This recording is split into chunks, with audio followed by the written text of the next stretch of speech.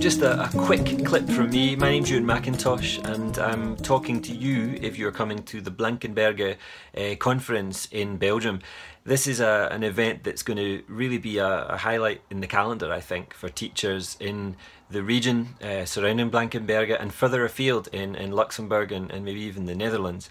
Um, you know, the concept of the conference is ready for the digital transformation question mark and I would argue that the digital transformation has happened anyway around us, whether we were ready for it or not. And so the question maybe now is uh, what else can we now do to prepare our young people to cope with what that digital transformation has opened up?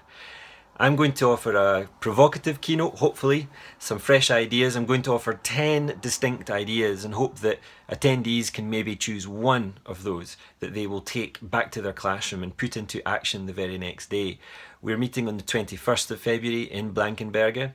The day is uh, a, a, great opportunity for people to learn from each other about how they have uh, integrated, in specifically iPads and uh, various other technologies through the iPad into their classroom.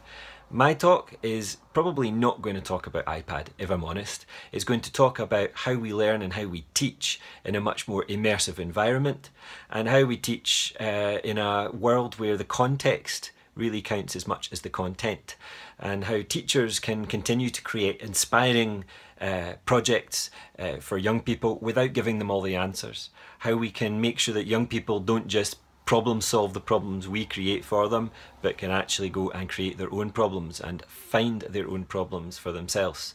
So I hope to see many of you there and uh, I'm really looking forward to also learning from you from some of the workshops that are taking place through the day on classroom management, on uh, integrating more technology into the classroom seamlessly, and to looking at those uh, specialist uh, things that, that certain technologies allow specialist subjects to, to do in ways we've never been able to do them before. Details are on the NOTOSH website under our events uh, page on Facebook. And uh, if you want to find out more about NOTOSH, just go to notosh.com. See you on February 21st in Blankenberge.